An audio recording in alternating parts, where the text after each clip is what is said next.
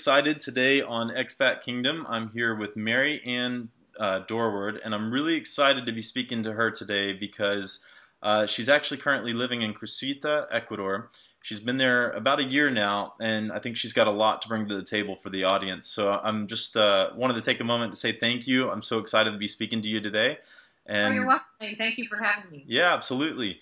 So um, hopefully I got your last name pronunciation correct. You're good. Okay. All right. Good. It's always a little nerve wracking. You never know if you get it right. of course. Yeah. Well, you're doing great so far. Okay. Good. So, um, so basically, since you've been in Crucita now for a year, that kind of is probably giving you enough opportunity to get a feel for, for what it's like down there. Um, but I'm really interested to find out what is what has inspired you, or what did inspire you to actually move abroad. Well, there were a lot of reasons actually that all came into play at the same time. Freedom is certainly one of them, the ability to do what I wanted uh, that I could do in another country. I always had a dream of living in another country, and I really wanted to see what that would be like. And so that was one aspect of having the freedom to do that. Um, another aspect is that I had been very sick in the United States, and I was looking for a place where there was a better quality of life, uh, less stress, mm. um, more uh, no GMO food, uh, air quality, sunlight, all those great things that help uh, you feel physically vibrant. And uh, I, I, did find that here in Ecuador. Um, and then I guess I had the opportunity to see what it would be like just to be on the coast. I'd always had this dream since I was a little kid uh, about what it would be like to live right on the ocean.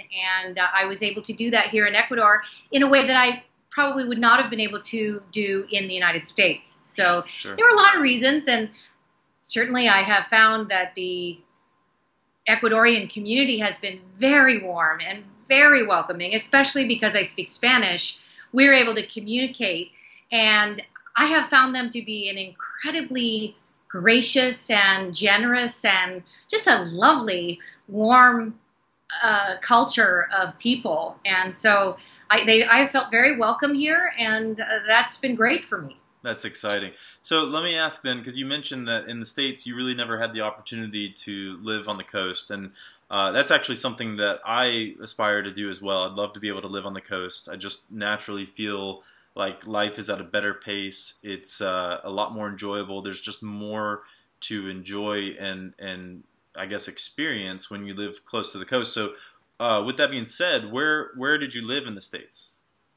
Well, I lived in Port Townsend. Actually, was the last place I was living. I'd lived in Seattle for 20 years, and I had moved to Port Townsend for about a year, year and a half before uh, we came. My husband and I came to Ecuador, and uh, that was a different kind of coast line because it was always gray. Nine months out of the year, it was raining, foggy. You know, you were lucky to get a, a few days of sun here and there, but mm-hmm. that was really weighing on me. I, I really didn't like the darkness. Um, Also, uh, it's it's well. Here's a here's a kind of interesting contrast.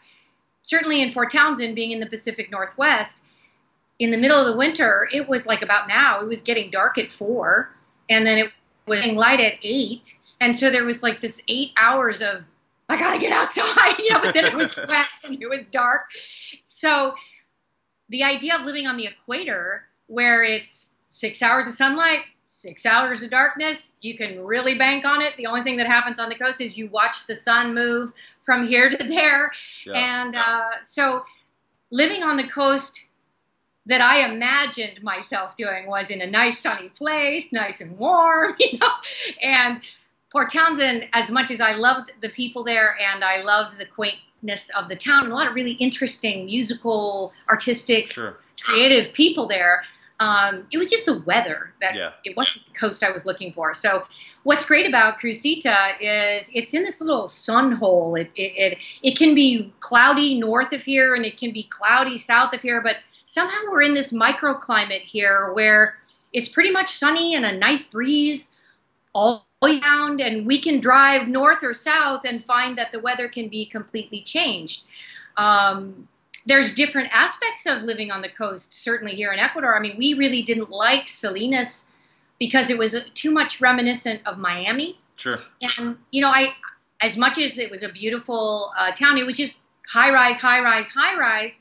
And this is much more of a quaint rural fishing village. Mm-hmm. So we get to know the people. We have our regular fishermen that we go to to get our fish every week. We go to the market and we go to our regular person who gives us the vegetables. We got our criollo, our uh, eggs that, that are from uh, natural chickens that Yep. are organic chickens. Yep. Um, we got our organic chicken this morning at the market, and they we have a standing order with them for five pounds of chicken a week. And so eh, there, there, this kind of coastal zone is much more rural. So as far as Crucita, what are some of the nuances as far as living there? You you know you actually mentioned something that I found extremely interesting.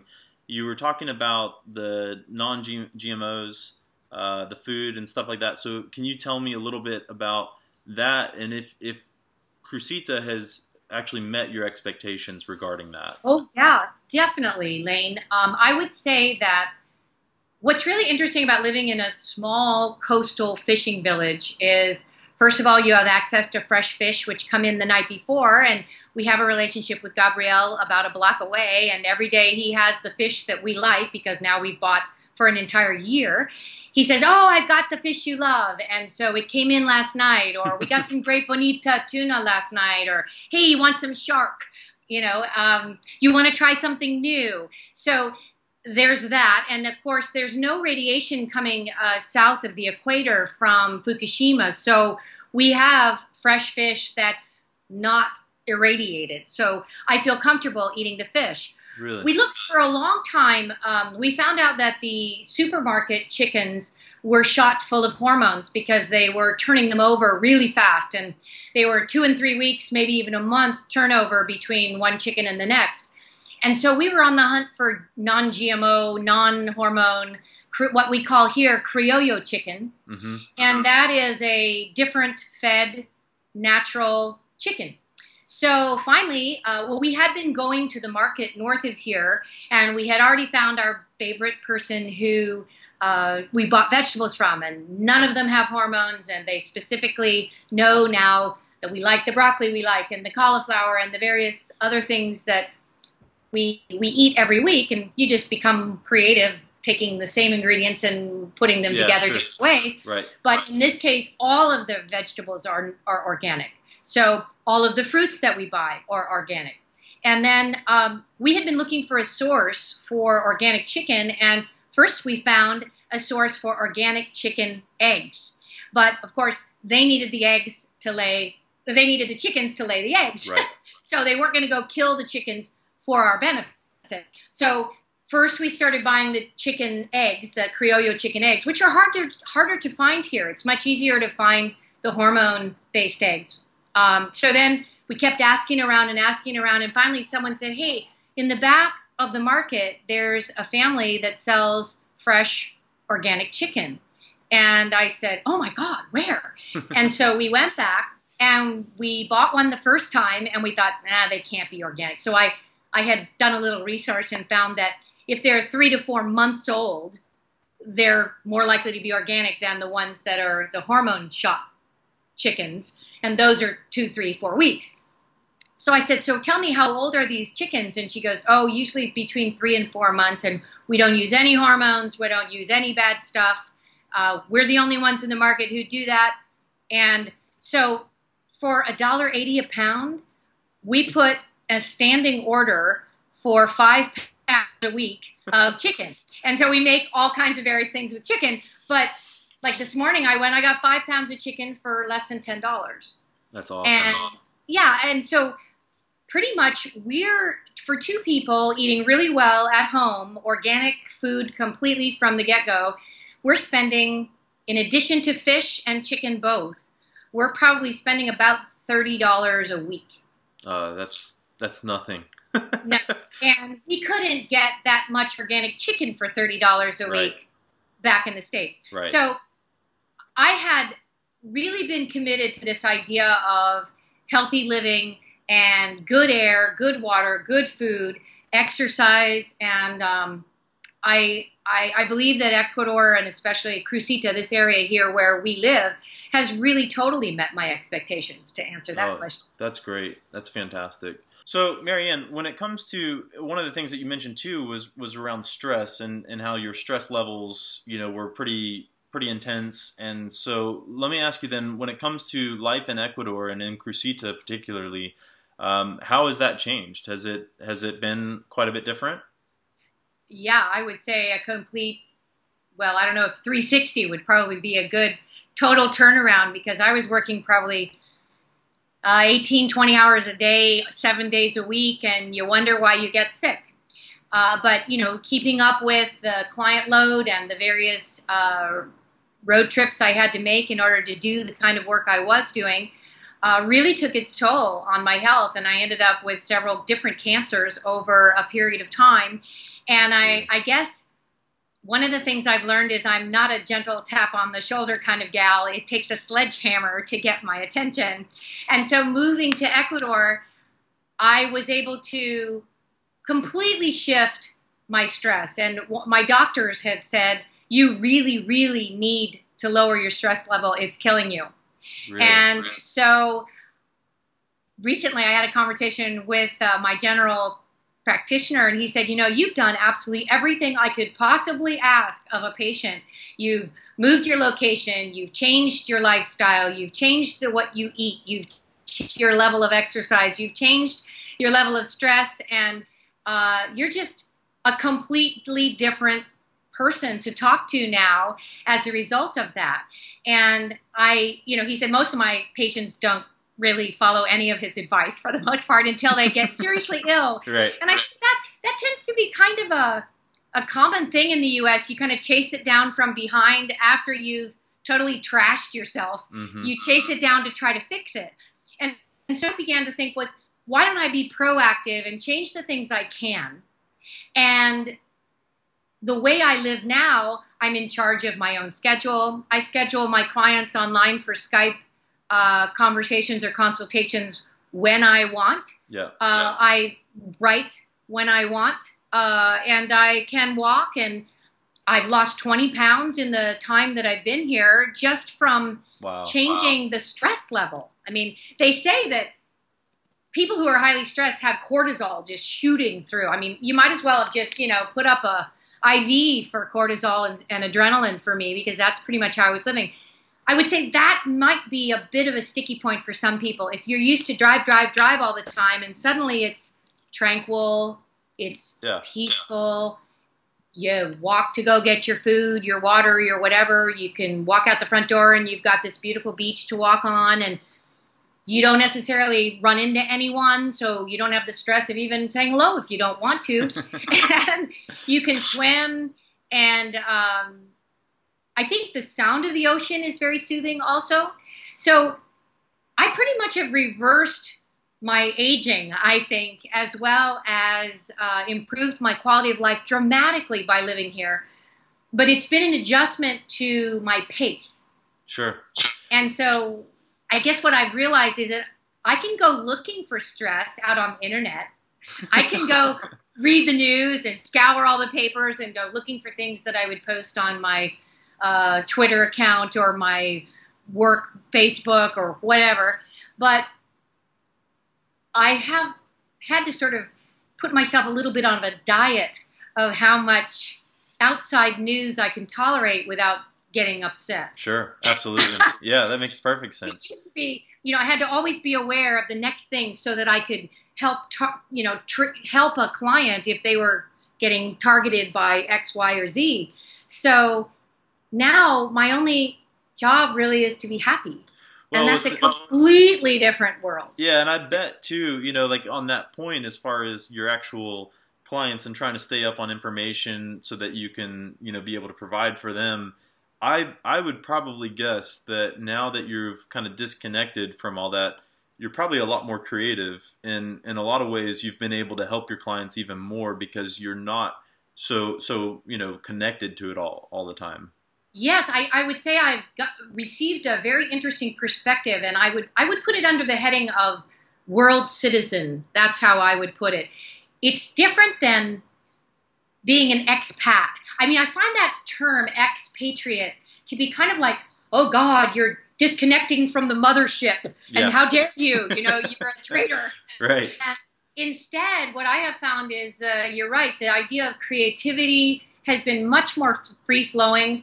Um, I have more uh, access to my intuition because it's not so crowded hmm with oh my god i've got to do this i've got to do that i've got to do this.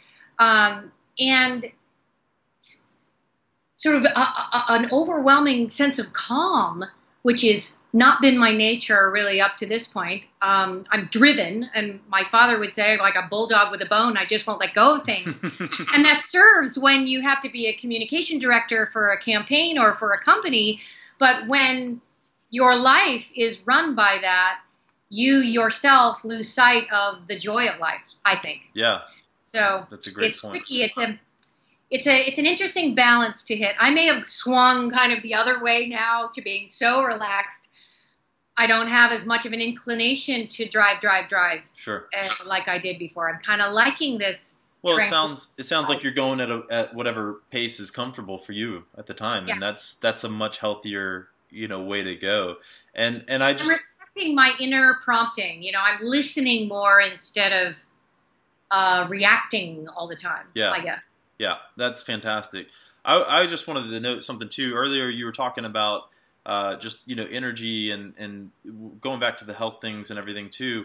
Uh, one of the things I I just you know can't help but to notice, but your energy is amazing. I mean, you've got just this you know beaming amount of energy, and Thank you. and it's just really it's really fantastic and refreshing. And so what I'm what I'm wondering is, do you feel like you had this level of energy and, and you were able to express it uh, like you currently do before moving to Ecuador, or has that shifted or changed since you've actually moved down there?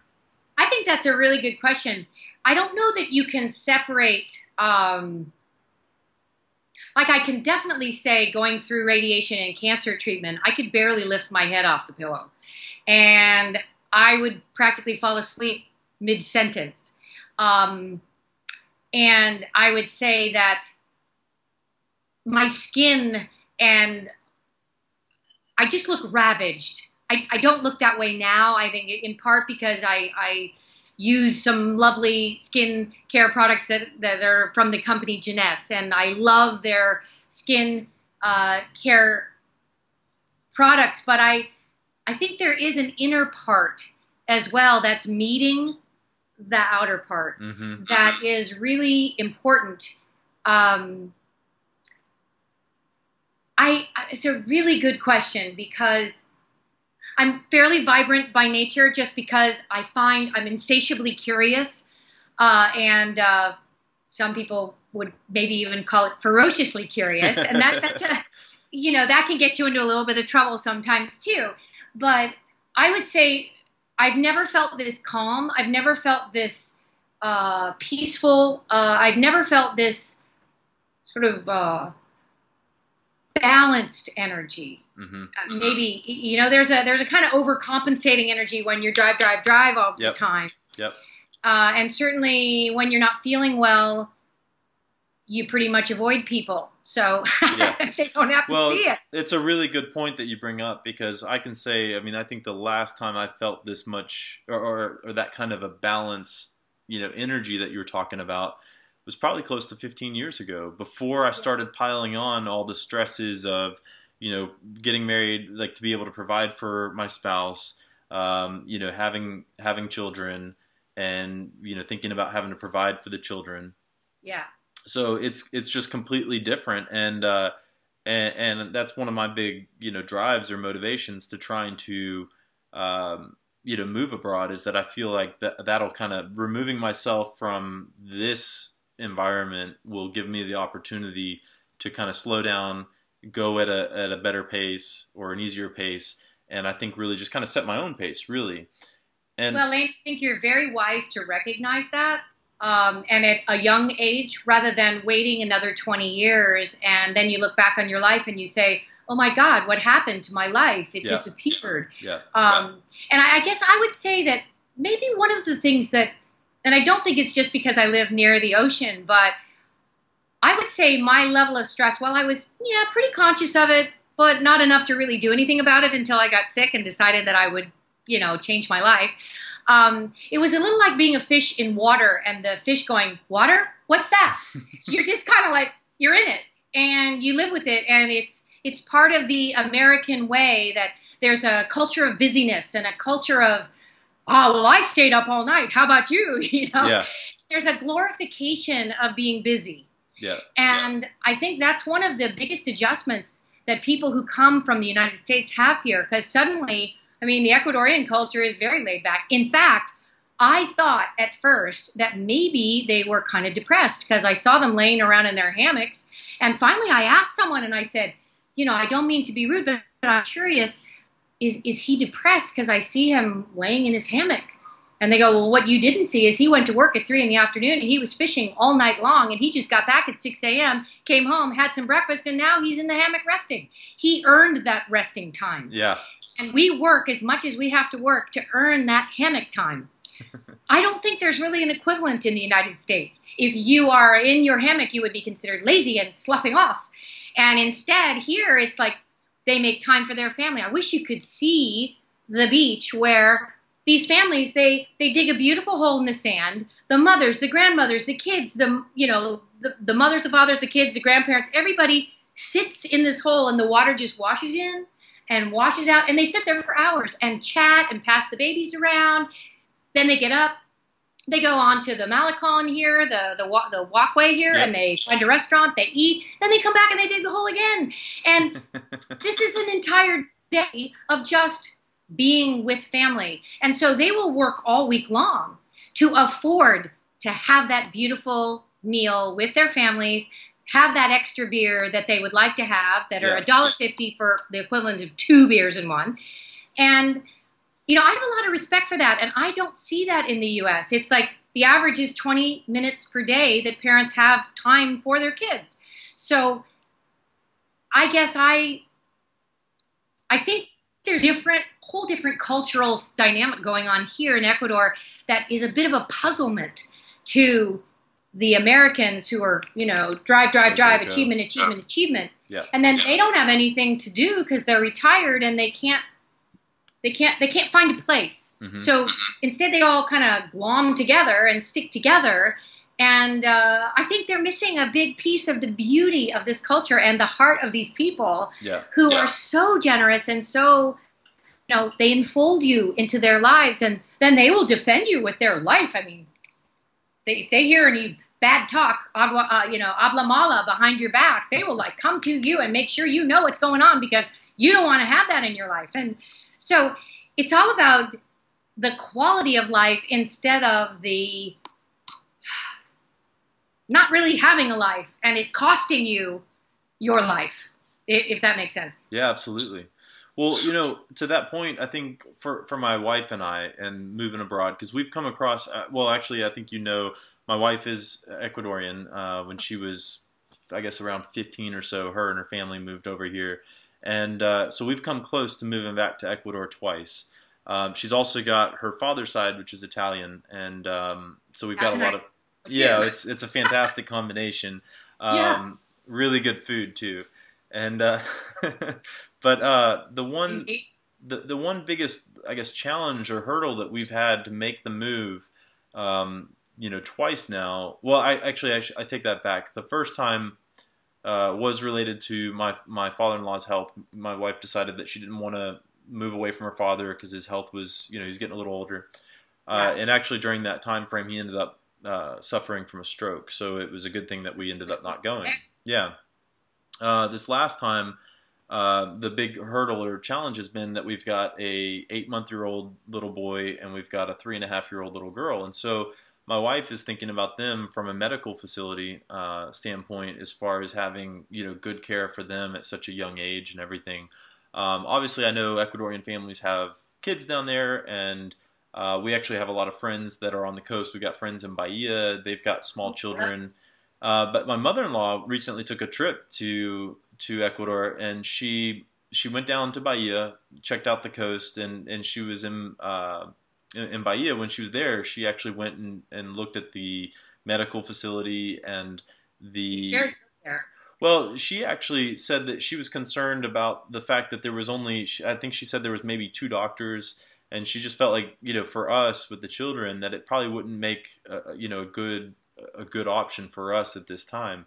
And so I'm just curious, you know, from your perspective, since you live there in Crucita, which is even smaller than than Bahia, Yeah. um, you've had, you know, the cancer, and, and you've gone through those treatments. Um, you know, it seems like your your health has actually improved since going down there.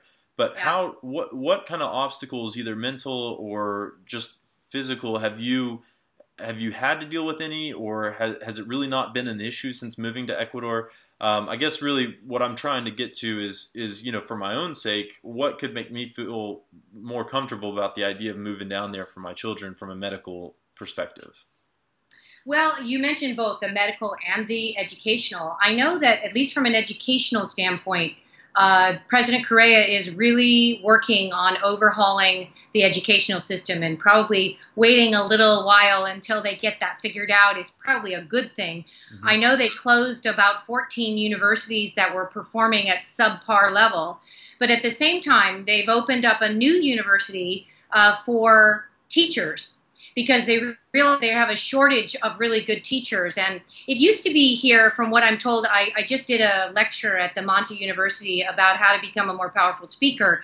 And I talked to the professors there, and they said that the originally, uh, when you were trying to become a doctor or a lawyer, that if you failed the exams for those two, you got to be a teacher. And so it was kind of like a come down that Oh, wasn't, you know, exactly, you know, the blue ribbon. Yeah. And but now uh, apparently they they now have a university that you just opened this year. They made the exam to get in so hard that the opening class of teacher training is I think either 16 or 18 people from all over Ecuador. So they've now elevated this perception that teaching is a noble profession like being a doctor or being a lawyer here. And a lot of the they're they're putting out a call for the teachers who left when the, the dollar collapsed in 91 i think it was a was it 2001 91 whatever whatever it was Yeah, it was. It was. I don't wanna the nineties, I think. yeah there was a there was a dollar collapse and 2 million ecuadorians left uh, to go to the united states and europe to uh, build lives and rebuild the money that just disappeared for them. So they've put out a call to university professors and by 2017 70% of their university professors will need to have a doctorate which oh my god i don't think that's true in the united states. So there's a there's a level of education that is being uh, brought up, and I think that includes doctors as well. hmm Uh, but I can tell you a little bit about my experience so far with the medical profession, and I think it really has to do with where you are living. Uh, we were up in uh, we were up in Quito handling our permanent residency with our lawyer there, and we were staying uh, with some friends in Cumbaya, which is just south of Quito. I mean, if you're looking for everything the U.S. has to offer and more, I mean, you want the IMAX, you want the university hospital, you want the doctors, high class, they're all there. Right. You can get everything you ever wanted in a mall there. Right. Root got very sick. My husband got very, very sick. He ended up with um, a um, bacterial and a parasitic infection, and we don't know where he got that. But he was so ill he could barely walk. We got to the uh, hospital there, and what's really interesting is uh, we felt that the actual facility was top notch, any as good as anything we'd seen in the U.S. Uh, we did not have medical insurance, and to see the doctor do all the tests uh, and you know have a couple of other little uh, questions answered, plus all of the Pedialyte and uh, antibiotics you could ever want for treating this situation, it cost us seventy dollars. Okay, so cut to I we live in Crucita. Um, three weeks ago, I got really bad food poisoning. I don't know where. Probably something in the soil. I probably didn't wash something properly enough, and that's just you know the luck of the draw. Well, I waited three days thinking it would resolve itself. It didn't. It got worse and worse and worse. And this is a common thing that people have to deal with in any foreign country. So I'm not criticizing anything to do with the soil in Ecuador by any means. But one of the blessings of being here, which I find fascinating, is I wrote up in Spanish what my symptoms were. My husband walked over to the pharmacy, handed her the symptoms. She sent him home with the antibiotics I needed, a four day course, and probiotics for the bacteria in my system that the antibiotics were killing. And that's unusual for, I don't remember that ever happening no. to me. So you have to kind of self administer your probiotics after your antibiotics yep. and Pedialyte. So one of the interesting things is that the pharmacists are trained like any kind of drugs for the most part. I think with the exception, some people have told me of high-end painkillers. If you need things like Percocet, things like that that are really, I forget what you call those. Um, yeah. Uh, high-end pain relief. Uh, you can't get that here because there's an issue with they wanted to make sure that they were curtailing any kind of drug running going on. So, but anything else that you normally have to in the states, go to a doctor, get a prescription, go to the pharmacy. You can just go right to the pharmacy and get what you need. They're familiar with bacterial infections, parasitic infections, and if you need um, further tests or the first round doesn't work, then you go to the clinic. There's a clinic nearby here, a block away, and my neighbor downstairs got pneumonia, and he went there and they gave him a mask and sent him home with antibiotics, had him checked, and he also got into a car accident on his motorcycle. Well, the doctor who came to the scene rode with him in the ambulance to the hospital, really? made sure that he was okay because they weren't sure if he was internally bleeding, and stayed with him the entire time while he was being x-rayed, making sure that he was okay. And, you know, that's a different level of commitment personally to the humanity of the human being. You do not feel like you're a number. Mm-hmm.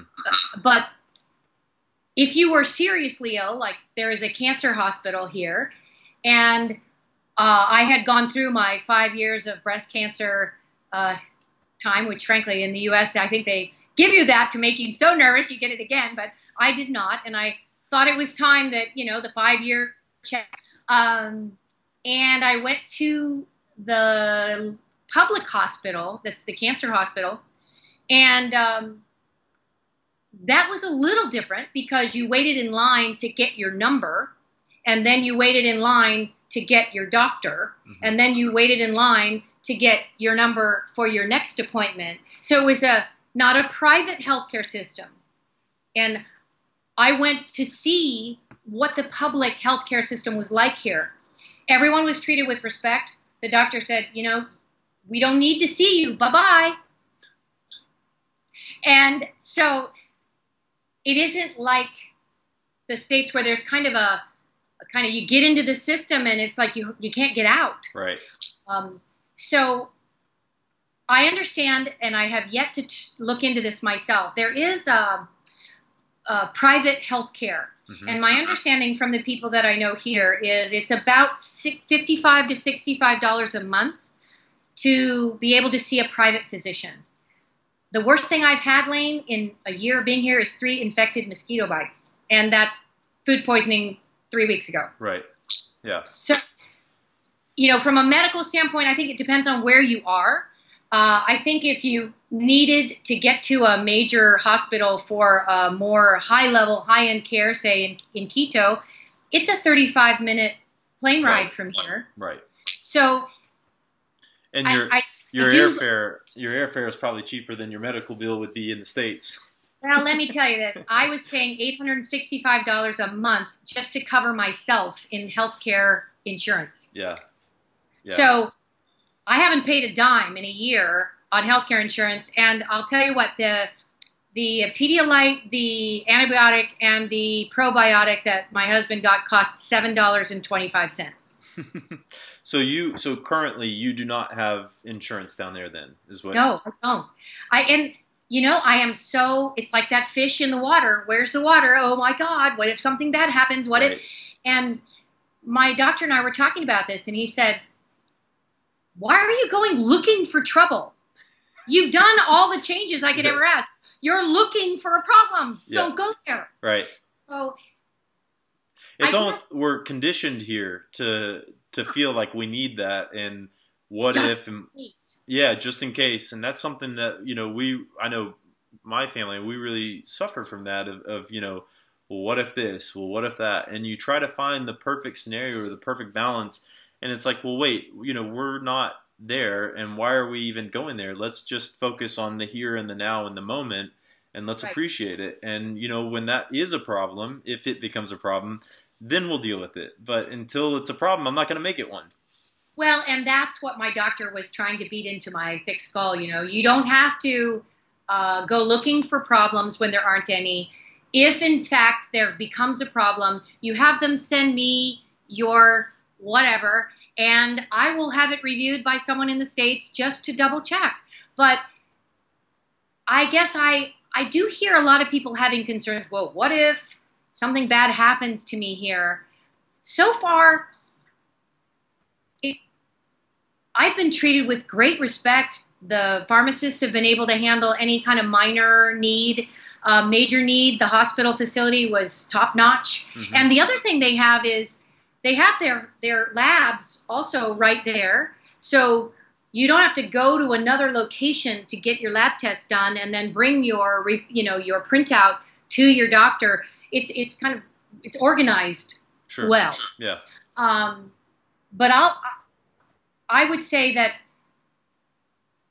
you could pretty much find what you needed when you needed it as far as healthcare is concerned. Um, as far as education, it depends. I mean, if your children are bilingual, are they? They are they are. both? yeah They are. They're So, actually tri- trilingual oh, trilingual. Okay, right, because Italian, Right, uh, Spanish, and English. Yep. So my feeling is they would do fine here. Yeah, and, and I'm less concerned about the education um, because my my wife, you know, actually um, went to school there, and when she came from, so she her last school experience in Ecuador was actually in Bahia, and she Ah. went to school with the the nuns, is what you know, it was it was the nuns, and so um, when she came over to the states, they were actually she was actually ahead from the equivalent you know grade in the United States, and so things that they were learning in school, you know, they were concerned actually when they came over because they didn't speak English.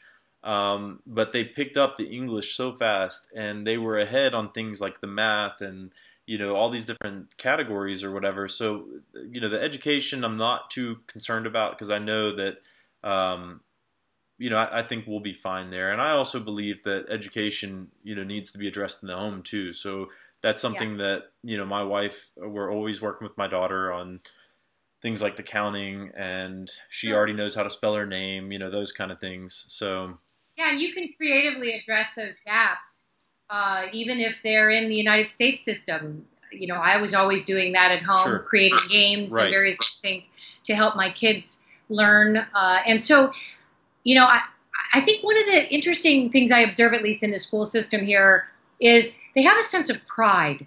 So, one of my friends has a child who's three, and he went to a school that is teaching him the equivalent of what I remember my children learning starting in kindergarten grade.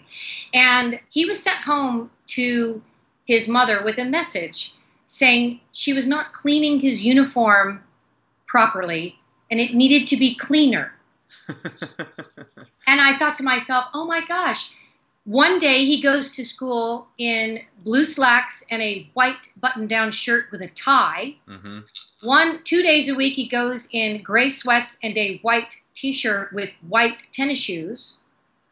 And another day, he goes, I forget the other third uniform, but there is a tremendous sense of pride. And these people, some of them are washing their clothes by hand. I don't know how they get the dirt out right. because there's a lot of like dirt roads and playing out in the dirt, and they don't have the same kind of washing machines right. are so easily accessible in somewhere like the states but they have uniforms and each school has its uniform and there is a sense of pride and when you get to be a senior you get a special pair of sweatpants that says graduating this year and um, it isn't like private school fuddy-duddy it's it's very much a sense of, uh, of pride in yourself Yeah. and the mother, my friend, got this message like, I'm not cleaning the shoes. She goes, Oh God. And she started like really tissues and leaving them out in the sun. And she had to get advice how to get them white enough to pass muster for her son's school. Well, there's So there, there's your yeah, there's your stress in Ecuador. Yeah. get your shoes clean. So you know, I think there's there's a there's a, a real sense of pride here in how things are done and how things get done. And um, I know there's another interesting thing that I've noted uh, that the uh, people who come here from the United States have a problem with, and you may have covered this in other interviews, but that they have to wait so long to get their food. no, no, I haven't heard that one yet. Oh yeah, they go, when's the food coming? Like, how long do we have to wait here? Yeah. And what you don't realize, and, and I took some cooking lessons from my neighbors who run a restaurant. They're running a, an entire restaurant on three gas burning stoves on one side and three gas burning out things on the other side, one of mm-hmm. which has their dog food that is boiling for the day. And what they don't realize is everything is made from scratch. Your ceviche is made from scratch. The fish is fresh. It's cooked fresh. It's everything is chopped fresh for you for that plate. I couldn't believe it. You know, Yeah, when I was learning, just to learn how to make a empanada, they have to go get the green bananas, the the The plantains. Yeah. They have to boil them for 15 minutes. Then they have to mash them. And I now you know why the Ecuadorian women have amazing uh, arms because it is so hard to smash a green plantain and it's you stretch it until it becomes like pasta dough. Yeah. and then you cook it. Then you fry it. And i was like stunned. I thought surely they've got extra ones in the back. And they don't. They make everything fresh to order. Because the assumption is when you come to sit in a restaurant you're there to have a conversation. Yeah. imagine that. It's not that fast food. Yeah. So, It's, we're, what we're, we're not used to that. We're not conditioned to. We're expecting it a lot faster, and everything is frozen, and and yeah, it's not fresh. And we've Remake. forgotten what that's like. we've forgotten what that's like. So then, when they finally do get their food, they're kind of annoyed. So, of course, they're having a little trouble digesting it. And then the Ecuadorians will not return until you ask them for the check because it's assumed that they're being rude and rushing you out the door if they come and say, Are you done yet? Do you want the check? hmm That would be considered very, very rude. Yeah. And I've had to point that out to people coming from the States on more than one occasion um, as they've gotten increasingly agitated at the speed of things. So that is one thing that I think uh, is a difficult adjustment that things are much slower. Bureaucracy is slower, food is slower, life moves at a slower pace, things don't work. The internet goes in and out. The electricity goes on and off. The water is currently off to Crucita because of a dispute politically between Manta on one side and Portoviejo on the other, and they're squeezing poor Crucita in the middle. So you just learn to go with the flow, uh, or lack thereof, I guess, Yeah. um, and uh, make it work. Yeah. Uh, So that's that's a really good point because I know a lot of people when I talk to them about moving abroad, um, you know, or even Americans, let's say, that don't really kind of understand that that idea or what the appeal would be because they they they already know a lot of these things, you know, just by the fact that the country might be grouped or classified as a third world country, and so one of the things that I like to point out is that it's it's not so much that life is next necessarily going to be better there or it's better here or that America is a perfect country or that it's not. It's more about picking your priorities and what is important to you and and you're going to have there's going to be trade-offs.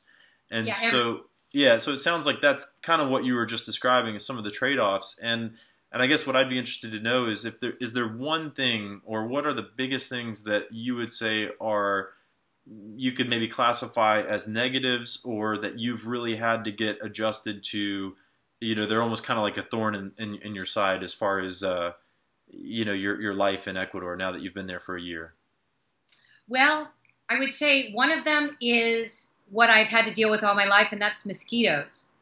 Um, I just have what they call sweet blood, I guess, because uh, when you go, my husband and I and other people will be in the same farm walking along, and I've got a mosquito swarm around me, and they don't. yeah Um, so I have been looking for various products that don't have DEET in them, hmm and uh, I have yet to find one that works. So one of the things that I've had to make an adjustment. I mean, one of the great things about living in the building that I'm in is I'm up on the sixth floor. So I am three floors down. I went to have dinner in the middle of winter, and I got bit 16 times. Now, up on my apartment up here, the condo up here, we don't get that because there's much uh, there's much more of a breeze blowing by. hmm But we went to go have dinner at another person's house who's on in a regular Ecuadorian level house, and the Ecuadorians went, "Oh God, you're wearing black. You really should wear white. The mosquitoes like they go to black." And I thought, "Wow, no one's ever said that to me." So I started wearing white, and thanks to the Ecuadorians, it's a little better. Really? Yeah. But I would have to say, we've now discussed this about a hundred times. Where in the world am I going to be able to go that doesn't have mosquitoes? Right. So that's my own issue. So I can't really blame that on Ecuador per se. Um, but if you do have a sensitivity to mosquitoes, that would be something that you wouldn't want to be in a ground level house uh, without lots of fans going. So it sounds like some of your advice then would be essentially try to get a condo up high and wear as much white as you possibly can. Well, that's one way. I would say also have good fans because when air is circulating around you, they they don't just they don't get on Land you, on you, quite as, as easily. Okay. Um, so let's see. There's other pet peeves. Well, I'll tell you what. Before you move on to, to other things, I'll just point out something that I, I saw that I thought was kind of interesting on my last trip to Ecuador. It was my first time down to the coast, and we were in Bahia. And um, I remember when we, we pulled in and we're getting out of the car, and I, I forget what it was. I think there was maybe a, a loud horn or you know some kind of announcement going on.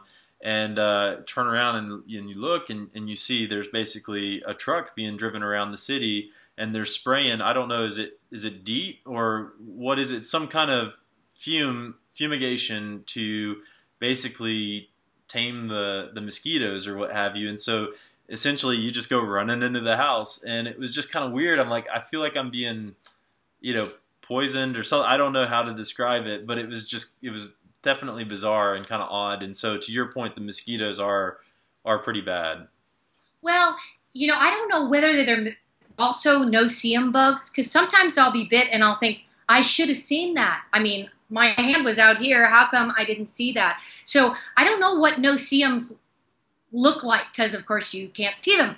But Bahia has a, you know, is supposed to be the recycle city and Yeah, the go yeah. green, The green, city. the green, right? So that seems to be in contrast with the party line of what Bahia is supposedly billing itself. One of the challenges, and maybe this is true in any bureaucratic system, but one of the challenges of being in a culture where actually English is not the first spoken language is the bureaucracy can be very, very intimidating for uh, a person from the United States who does not have the Spanish skills to navigate.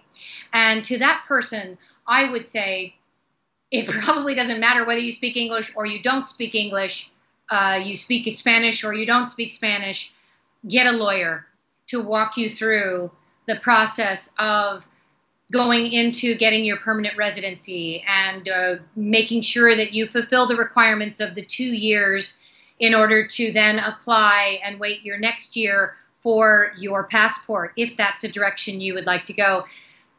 Even when you do have a lawyer, you can be sitting for a long time. And so you can move from section to section and pull your ticket in line to be called up to the front to turn in your documents. And I swear, when we were trying to figure out where we needed to go, if we hadn't had a lawyer, I mean, we drove in her car to one side of Quito, to the other side of Quito, to the other side of Quito, to the different government offices that needed to have the paperwork in order for us to fulfill our permanent residency application. Mhm. So I would just have someone help you. Uh, I did, and I do speak Spanish, but even my Spanish is not enough to navigate the governmental bureaucracy of being here. So that would be one thing that's a little challenging and perhaps uh, daunting, I would even say. Uh, don't try to do it yourself, would be my advice. I think it'll go smoother and you'll get it done right the first time. And I've heard some very big horror stories. Another aspect that I've heard a lot of people tell their own horror stories, but I did not have one, uh, is shipping your stuff here. Uh, a lot of people get taken advantage of by hiring the wrong company to fill a container mm-hmm. to ship it from whatever part of the United States or Europe. And we found a great company uh, that is based in Cuenca, and we had absolutely zero problems. Really? Everything everything was filled out properly. When we had to come into customs, they did the customs work for us. We just simply signed a power of attorney to them. Uh, they took care of all, all, the translation, and we got our stuff in three weeks. I know people who waited five months and kept paying for mm-hmm. the storage at customs because they had not done their paperwork properly. So that cost them thousands of dollars they didn't need to pay. Wow. And I think one of the one of the benefits we had was we were going over with our my Ecuadorian friends. You know, these are the people we're considering using for a shipment, and this is the person. This is the lowest price we could find, and they went, "That is way too low. If you pay that, you are going to get screwed somewhere along the line. It's going to happen. I don't trust that. Give me that name, give me that company. I will send my lawyer out on it and research it for you. Ultimately, we found that there was a lot of fine print that was sure. verbal and not written. And so we ended up paying a little bit more, but we got it done right the first time. We talked to all of the references. We got our stuff. Nothing was broken.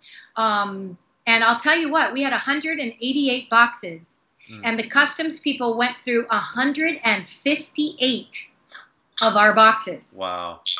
So you better follow the rules is another thing. If they found one thing wrong, or we heard a story of a, a couple whose translator took box two and put it on le- line three. Oh, and, and that yeah, every throws everything off. off. Yeah. The moment they opened one box and it was wrong, they went, they're lying. And they opened everything, and that container stayed in customs and you know they had to really work hard to get it out mm-hmm. so there that's another aspect of i guess bureaucratic to get your stuff here and make it feel like home you asked me you know what was it and I, I haven't really answered your question yet what is it that i miss or that's really hard for me um, and i would say i miss seeing my children I miss seeing my good friends. Sure. And so one of the things that I've done, like we used to be texting all the time. My kids are 22 and 25 now, so you know the majority is texting, um, or a quick Facebook message, or you know something quick. Mm-hmm. And we found uh, the the app.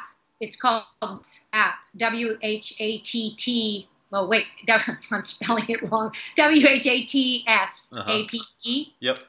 And we, my son is in South Korea right now working, and my daughter's in Canada right now working. And we shoot each other, you know, a WhatsApp message all the time. Yep. Like every day, practically. Yep. And we found Line, L I N E, another app that we are able to use as long as you have internet access. You can call anywhere in the world for free. Um, really? And it's like a Skype to Skype. So oops, sorry, I touched the, my hands get going. Some people actually accuse me of being Italian because I'm talking with my hands. well, not accuse me, inquire as to whether I'm Italian. I wink is my uh, response to that.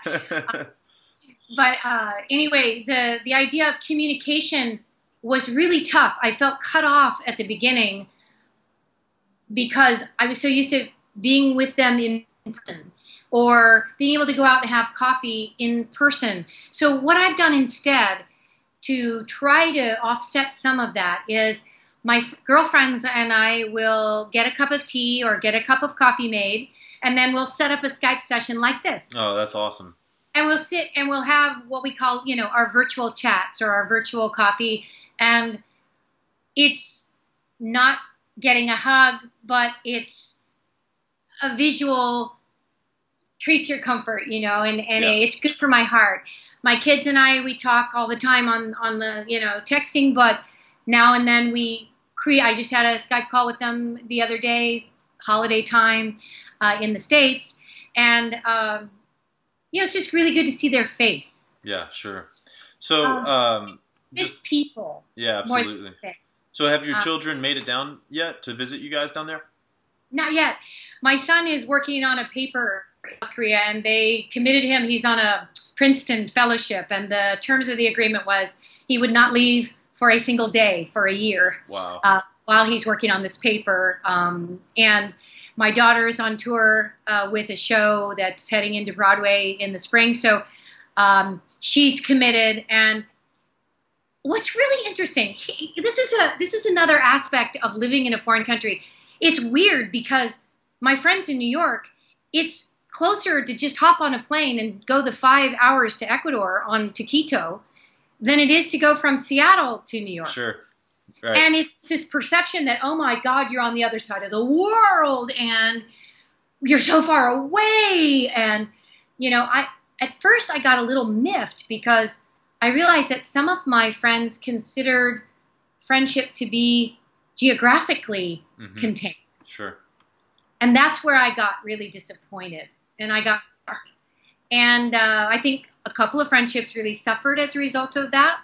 But the ones who don't have the same geographical perception of, oh my God, you're so far away, um, they don't have the same problem. A Sure. conversation on Skype is, is, is, is great. Yeah. My kids, unfortunately, at this time in their busy work life, they're busy working.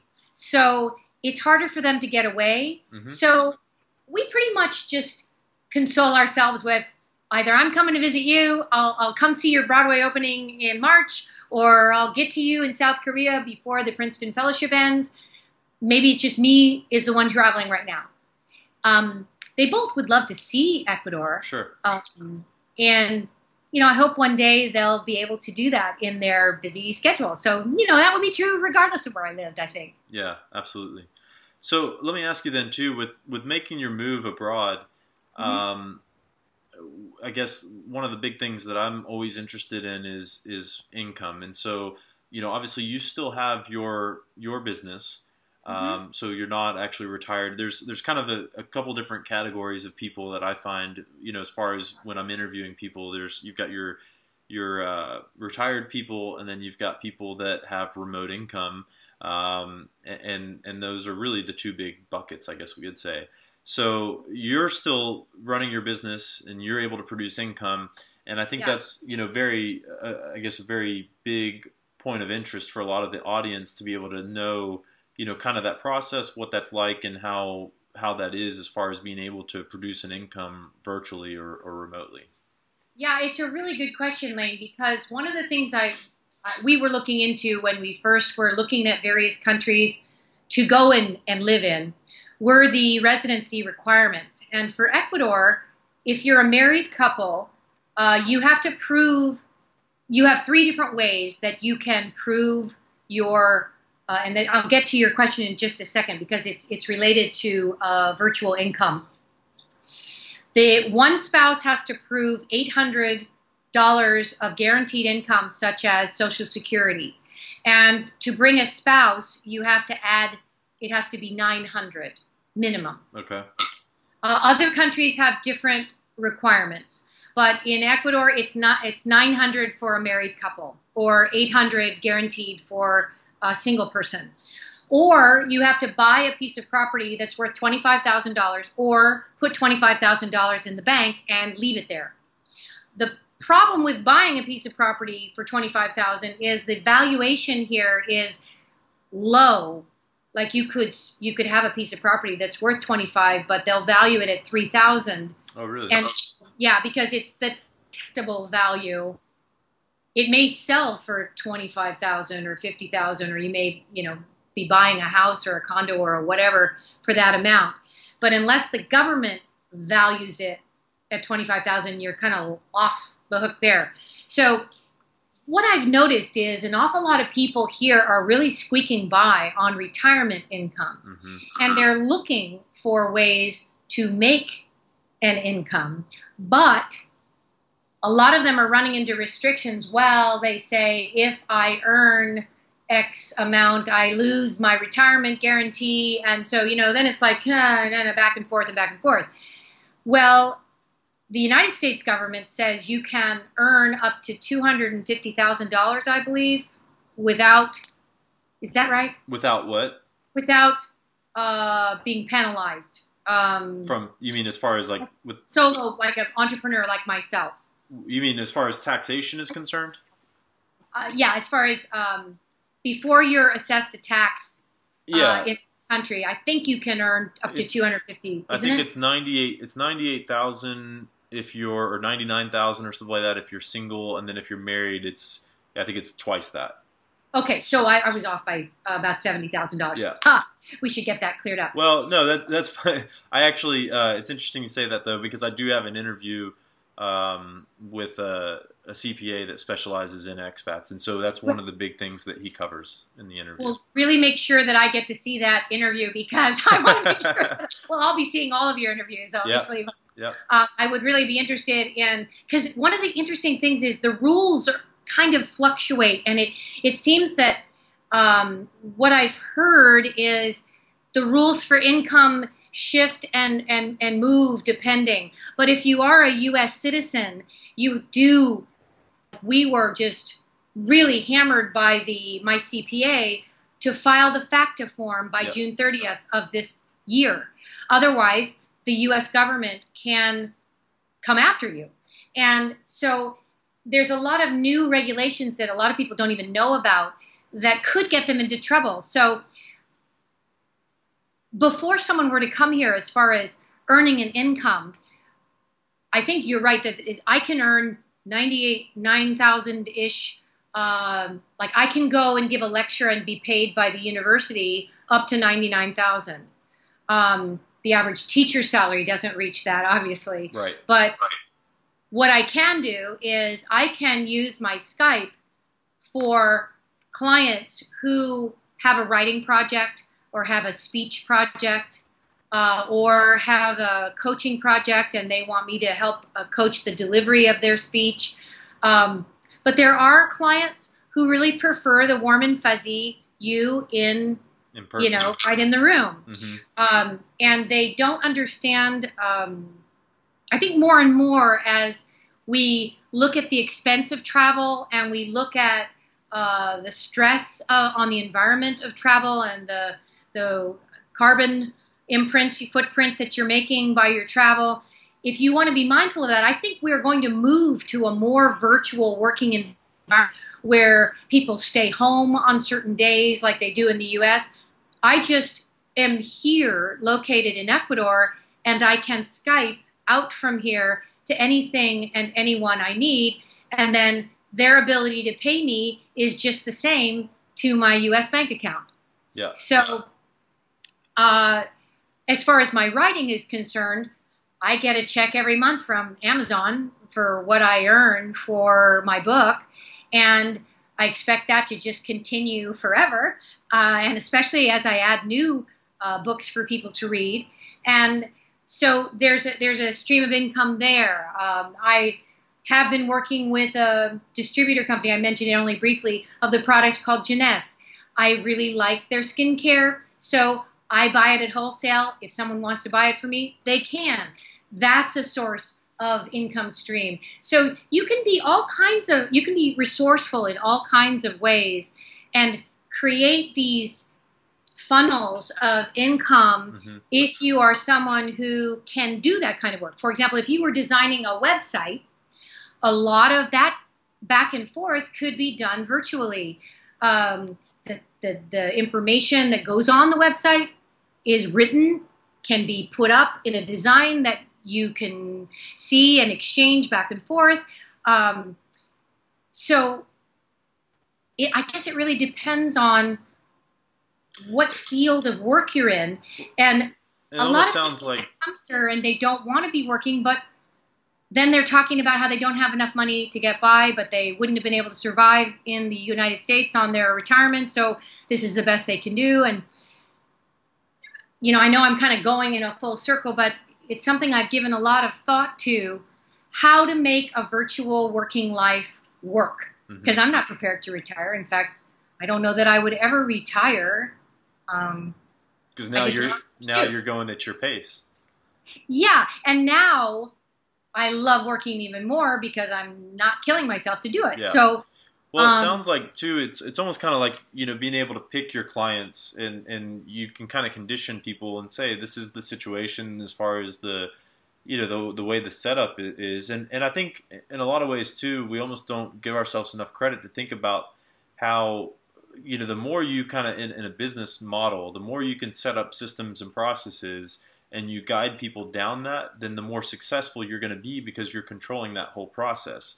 So Absolutely. This could fit in right with that. This is my communication method. This is how it goes. And you'll actually find that you, you can actually be more productive probably because you're not having to spend the time in the car going to meet the client.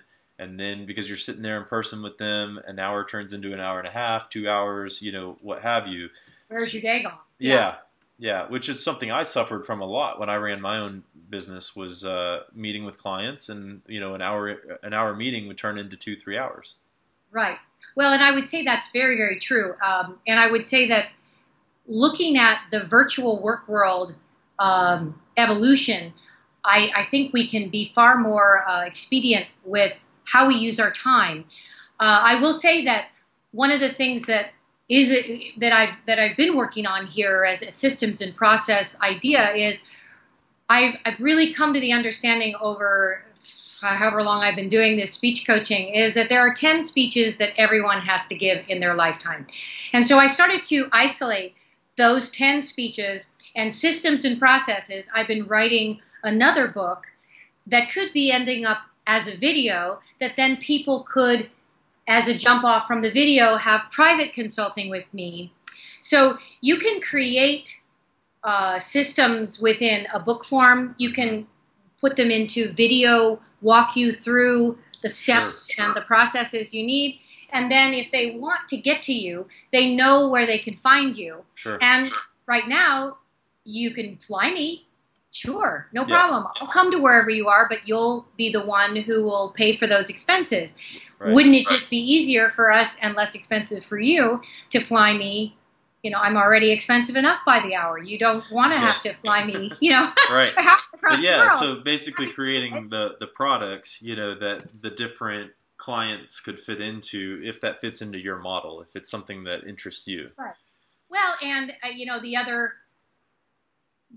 funnel, I guess you would look at is because now with my book in the Words to Thrive By series, I'm considered a motivational, inspirational speaker, writer, help you kind of, you know, handbook of hope kind mm-hmm. of thing. Mm-hmm. And so with that comes people wanting to get to you and they want that people will write me all the time and so they'll they'll leave comments on my blogs out on the internet and say, well, I'm handling this thing. What do you think of this idea? Or I had this 78 year old woman write me a letter saying, I want to give your book to a friend of mine who's going on a trip, but I, I don't have time to pull out all the questions for study book groups, and I know that I really need to go through them, and I need to give her the book. And could you just send me the study group questions because I really, really, really want to get better?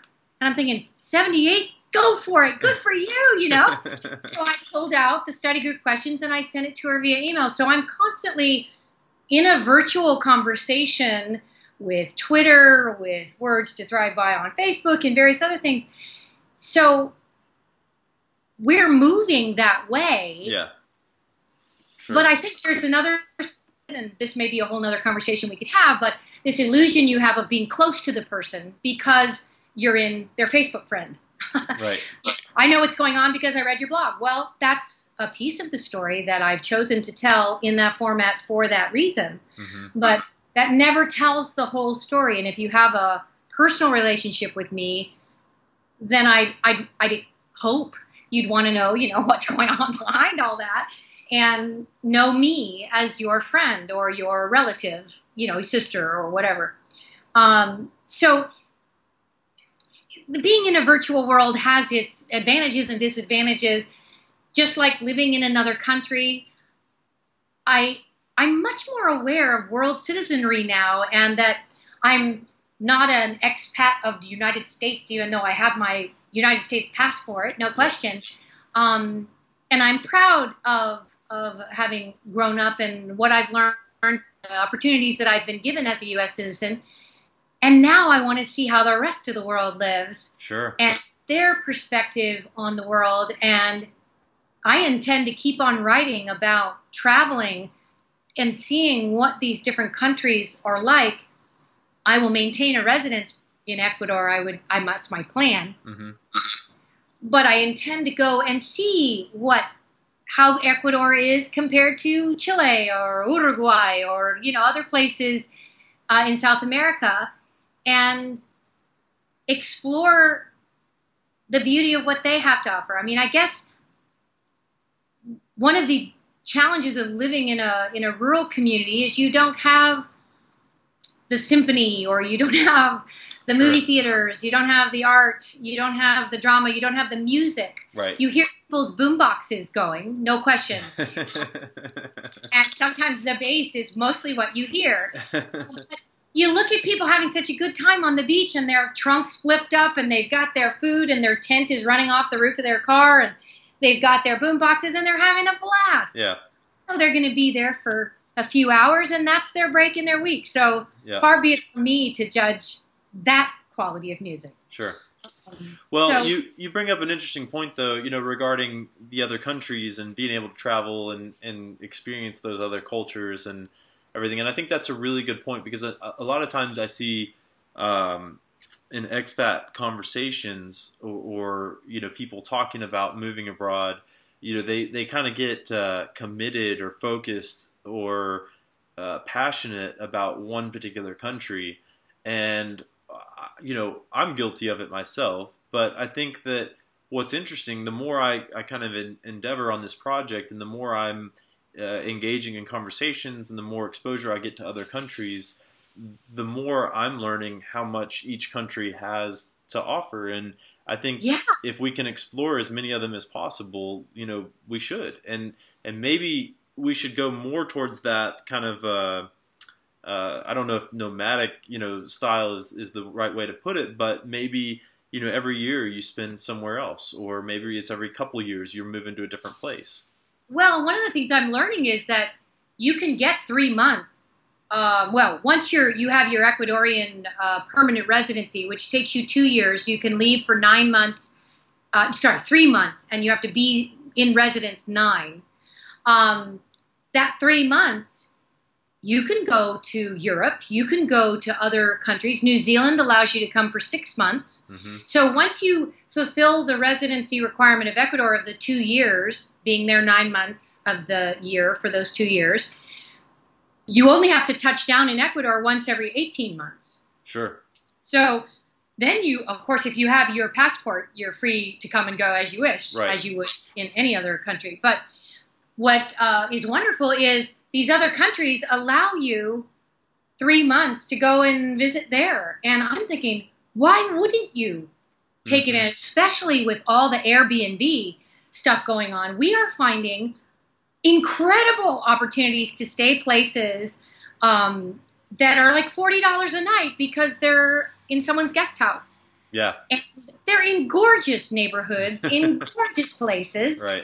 And I mean, I have had some terrific experiences with Airbnb, and I think that will be one of the waves of the future where which will allow it'll level the playing field a little bit of people's affordability.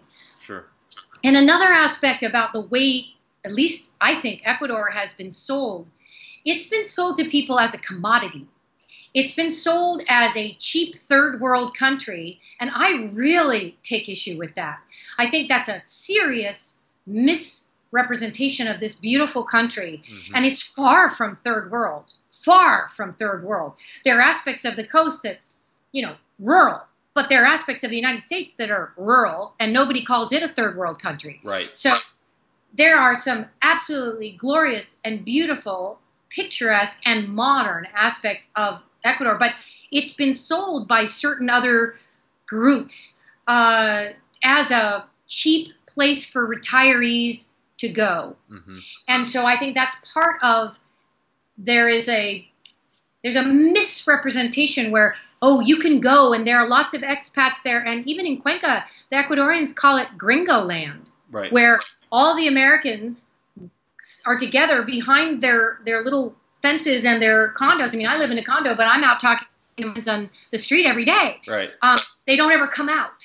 Well, and they learn Spanish. Right. And so there is a there's a quality of this cult this this particular country I think has been really misrepresented as a commodity rather than as a beautiful cultural experience as Brazil or you know uh, I mean just as I guess Colombia which is gorgeous too right. has been you know trashed as a, a, a drug running country I mean there are issues but you know there are some beautiful beautiful parts of these beautiful countries that have been mislabeled based on someone else's political agenda. Let's just sure. put it that way. Yeah, I you know I've actually recognized that as well. I, I see that going on a lot, and what what I think is uh, kind of interesting is that when I start doing the numbers on me being able to support my family uh, in Ecuador, it's pretty much on par to to here. Maybe there's you know a little bit of savings depending on the city I go to in Ecuador, but at the same time, I mean, for the most part, it's not that different, and and I think that that's a huge. I mean, that's a huge point that you bring up,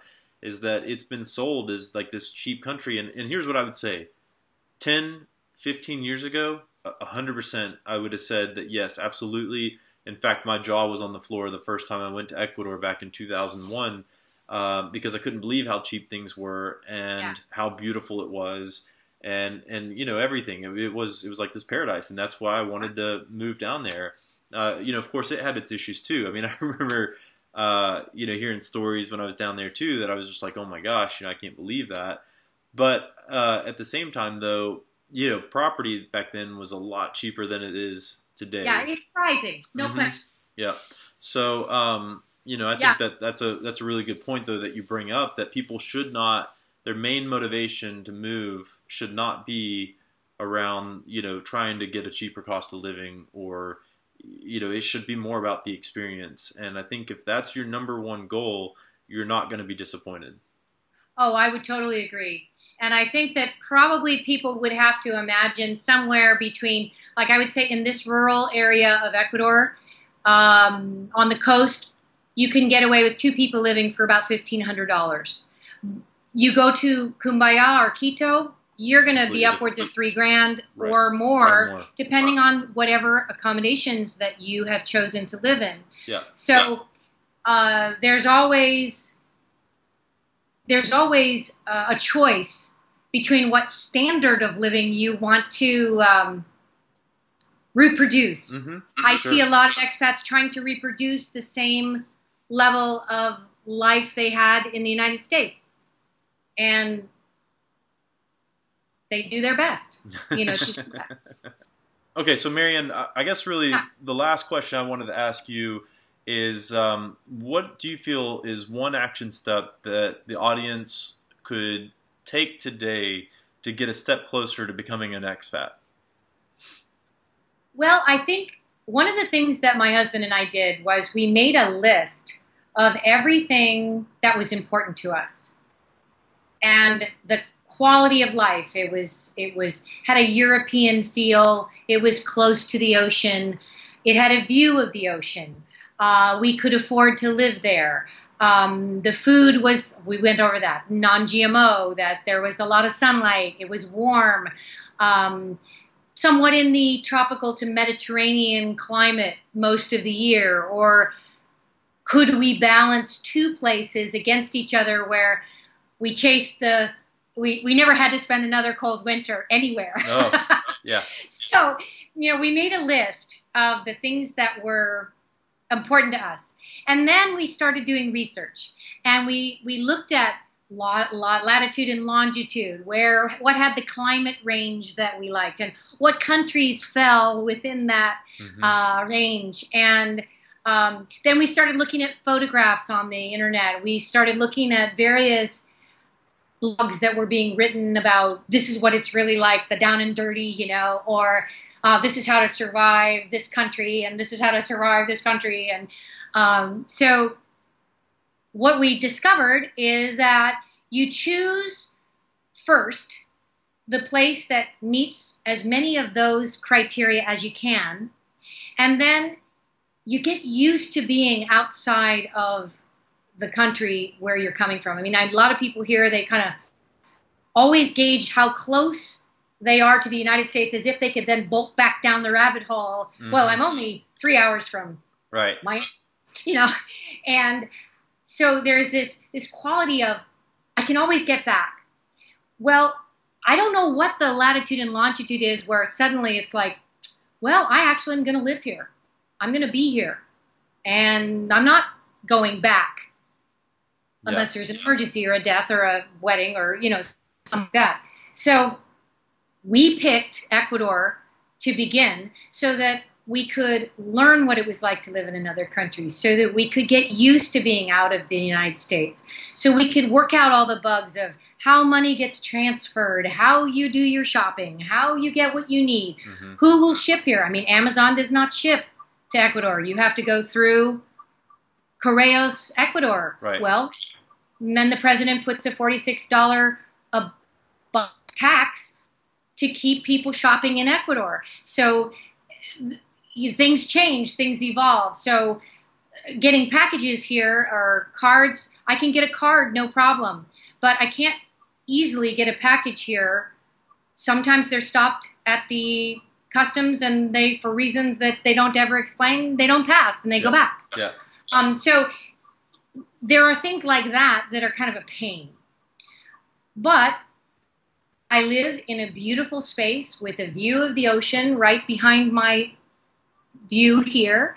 Uh, I am, can walk on the beach anytime I like. Those were things that were important to us. A place to get really good exercise, um, a place to eat well, sleep well, um, you know, be able to decompress from the machine of you know living in the United States. Yeah. So I think it takes about a year before you kind of get your footing. So pick the place that best serves as many of those things as are on your list. And then once you're there, you can reevaluate how important is getting a box. How many people send me boxes? Well, not too many, actually. I can get the protein powder I want now. Oh, great. You know, right. is that a problem now? As long as I don't bring clothes in, I won't get hit with that $46 tax. You learn to work around those things that don't work. Sure. As far as the mosquitoes go, oh well. I don't go out as much at night after 5:30 when the sun goes down. It's usually down by 6 and I don't have a big nightlife. So right. Sure. Okay. Okay, I'm fine with that. I can get Netflix. I watch a movie. So you get to a place, you learn how to live there, you learn how to function, you learn how to do the basics of banking and living and eating and sleeping and all those things where you live. Mm-hmm. And then you evaluate from there what are the things you can't live without that are still sitting on your list that you don't have now? And are they deal breakers? Or could you live, say, us in Ecuador, and could we get a break and go for three months, six months, of a year in another place, get all that European coffee shop, fountain, you know, stuff. cobblestone right. stuff, beautiful, you know, gorgeous architecture, and feed that part of ourselves for that period of time. That's a little more along the lines of your nomadic thing where you have a base mm-hmm. and then you go out from that base. And if that base is affordable enough, you can afford to do both. Right. If you end up in a place that's just prohibitive and you're maxed out in terms of money, that becomes a different challenge. Sure. So, you know, all these things come into play. The short answer is make a list of all the things you really want and find a country that most approximates those as many of those as you can get and then go on from there. Yeah. Well, you know, I think that's that's really good advice. And the other thing too that you're basically kind of nodding at there too is to keep your expenses as low as possible and also don't make it permanent so that way you've got more flexibility if you want to try somewhere else you can do it if you want to go back to the states you can do it but just yeah. give it a try and just go for well, it well the other thing i would say is i don't have a problem now renting i used to like own my own house in this the united states and i felt very that was important to me to have my space and to own my own place and all that and then you learn through the way the American medical system works, well, you get cancer and you become one of those statistics, and there goes your house. Right. So right. you learn to live without it, um, and you adjust as you go.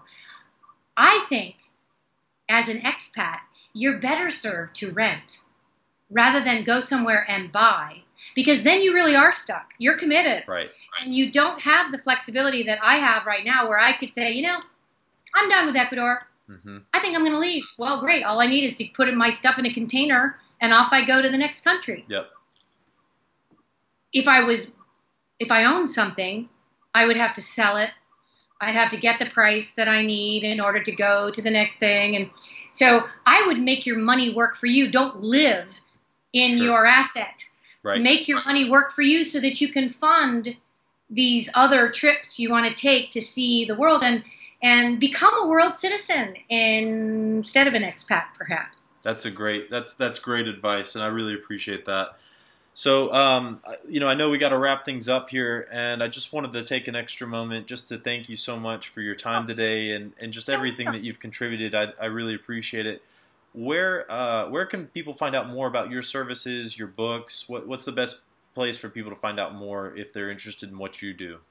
Well, probably the easiest place to find me is maryannedorward.com. So I don't know if you'll have that up there, Elaine, on some card for them, but it's M A R Y A N N E D as in David, O R W A R D dot com.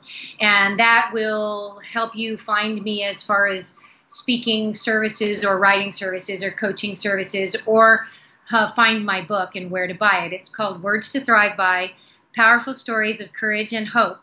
And it's on Amazon. And soon uh, we'll have one in the travel series, Words to Thrive By for travelers.